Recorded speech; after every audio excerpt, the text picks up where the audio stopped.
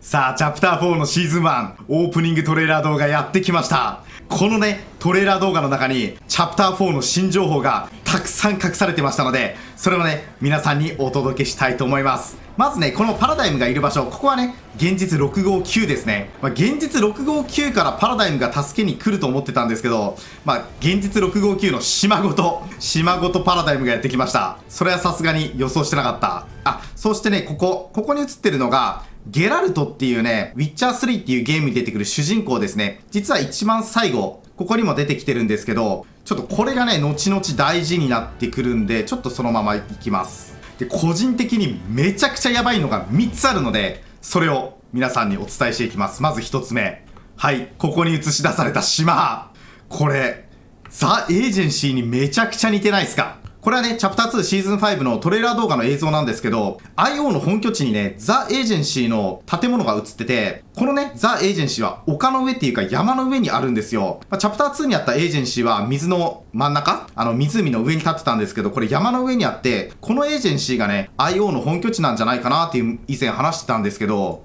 はい、これ、めちゃめちゃエージェンシーに似てない？これ。ただね、これがね、エージェンシーに似てて、マイダスが出てくれば嬉しいんだけど、あ、そうそうそうそう。あんだけさ、チャプター3でマイダスの伏線10個20個貼っときながら、結局マイダス何も出てこなかった。だからね、これがザ・エージェンシーで、ここにマイダスがいればいいんですけど、ここにウィッチャー3のゲラルトが映ってて、最後にもね、ウィッチャー3のゲラルトが映ってて、これ、この建物ね、ウィッチャー3に出てくる、ケールモーヘンっていうお城にめちゃくちゃ似てるんですよね。これわかるかな？ほら、この辺の城壁？こういう城壁がこうあるところとか、城壁のこの角のところにこういう丸いのがあるやつとか、めちゃくちゃ似てて、まあもしかしたらね、これウィッチャー3のコラボなんじゃないかなっては思ってます。ウィッチャー3自体は好きなんだけど、まあ、せっかくだったらね、これがザ・エージェンシーでマップ上にマイダスがいればね、嬉しいんですけど、うーん、なんか、あれだけゲラルトが映ってること考えると、ウィッチャー3のね、お城なんじゃないかなっては考えてます。はい、そして次にやばいの。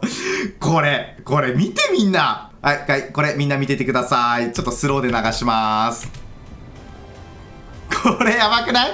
これわかった？ほら、目が光ってて、髪の毛ぼっさん真っ黒。これ絶対スロー博士じゃないっすか。ねえスロー博士さ、メガネしてて、まあメガネに光が反射してて、髪の毛、まあアフロかどうかわからないけど、黒髪ででっかい髪の毛が映ってること考えると、ねえあの、自分チャプター3のシーズン3の頃から、スロー博士はね、絶対復活するんじゃないか、スローはまだ生きてるんじゃないかっていう考察してたし、あ、そうそう、この辺に IO のドリルとか、この辺に IO の戦車が映ってるんですよね。まあそういうの考えるとやっぱり IO は復活するんじゃないかなっていうのが。で、IO が復活するんだったらね、このスロー博士も復活するし、やばいよね。ザ・エージェンシーのマイダスとスロー博士まで復活したらめちゃめちゃ面白そう。で、これがハルクですね。これはマーベルのハルクがスキンで登場するっていうことなんだろうけど、一応ね、さっき公式のホームページの方から、チャプター4、このバイクの乗り物がね、出ること確定しましたので、多分これはもうエモートじゃなくて、まあもしかしたらエモートもあるかもしれないけど、乗り物としてバイクが出ることほぼ確定です。で、ワンタイムイベントのね、前日に、あの、エピックゲームズの副社長、副社長のマーク・レインさんが、チャプター4のヒントで、あの、サイクルっていう言葉を出してたんだけど、これは多分、モーターサイクルっていう意味で、サイクルっていうヒントを出してたんじゃないかな。このバイクが新しい乗り物としてチャプター4に出るのはほぼ確定のようです。で、この辺、あー、これはね、わかる人はすぐわかるかな。チャプター1のシーズン4で、チャプター1のマップ上にあったホテルにね、隕石のかけらが飛んできて、隕石で穴が開いちゃったんですよ。で、ここにやっぱりチャプター1の、そういうホテルの看板があるっていうことは、チャプター2、表と裏の島だけじゃなくて、チャプター1の街とか、マップもこんな風に合体してくれるんじゃないかなっていうのはあります。で、現実659。これが現実659ですね。パラダイムのいた雪山、現実659が合体してるんだけど、今さ、なんかエピックゲームズ、えー、ワンタイムイベントの放送を、例えば日本人だったら、レジェ君とかリアンさんとかキャプテンとかが、北海道に行ってわざわざ配信してて、あと、なんか、リスナーさんからの情報によると、忍者とか、あの、サイファー PK とかも、こういう雪山、えー、寒いところに行ってわざわざ配信してるみたいなんで、この雪山、えー、現実659が相当ストーリーに絡んでくるんじゃないかなとは思ってます。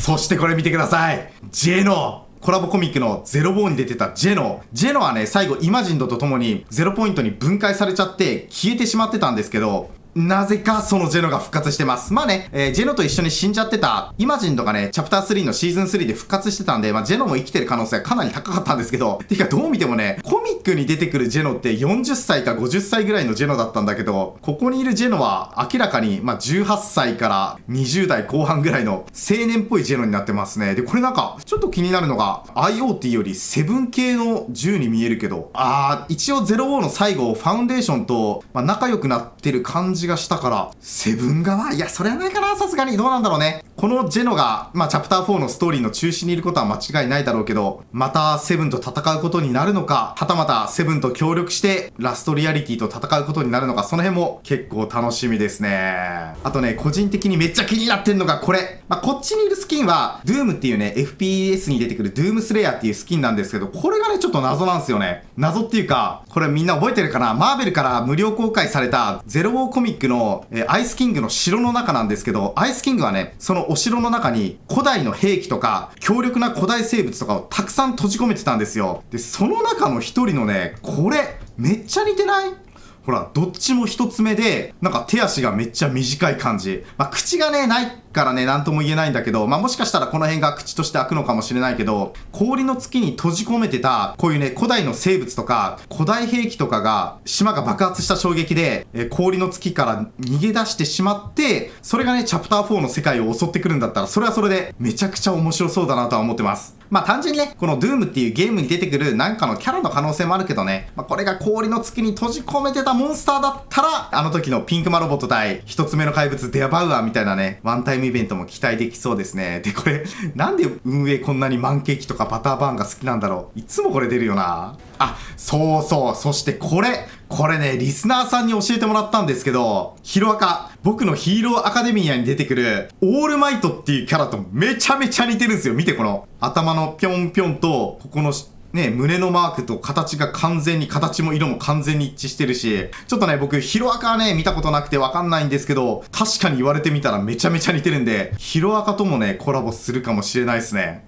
OK。そしてやっぱりここに IO を創設したジェノがいるんだったら、さっきね、赤い公衆電話にいたのもスロー博士の可能性はちょっとありますね。いやー、なかなかチャプター4の世界、ジェノ、スローン、そしてあれがエージェンシーでマイダスも出るんだったら僕にとって最高のシーズンなんですけど、どうかな？どうも、うん、ちょっと見る感じ、やっぱこの辺で見る感じ、ザ・エージェンシーっていうよりも、ウィッチャー3に出てくるお城の可能性の方が高そうな気はするけど、どうだろう。エージェンシーであってください。よろしくお願いします。はい、ということでね、またチャプター4が始まり次第、チャプター4の、えー、クエストだったり、マップ紹介だったり、まあ、考察動画、解説動画、紹介動画、もういっぱい出していきますので、楽しみに待っててください。あ、あとね、夕方の5時、夕方の5時からバトルパスの方のトレーラー動画もね、アップされるみたいですので、その時はね、えー、起きれたら、起きてたら配信します。一応ね、昨日結局眠れずに徹夜しちゃったんで、えー、起きれたら配信します。起きれなかったら申し訳ないです。ということで、最後までありがとうございました。あー、ワンタイムイベントの生放送来てくれた人たちありがとうございます。同説1万5000人ぐらいいてて、めちゃくちゃ盛り上がったんで、本当にありがとうございました